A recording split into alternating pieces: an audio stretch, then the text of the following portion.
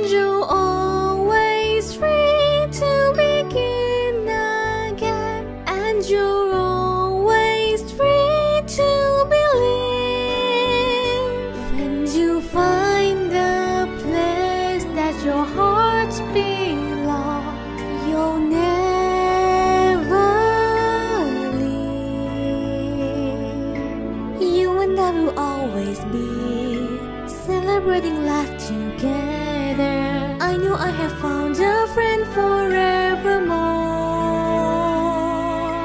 Love is like a melody, one that I will always treasure. Courage is the key that opens every door.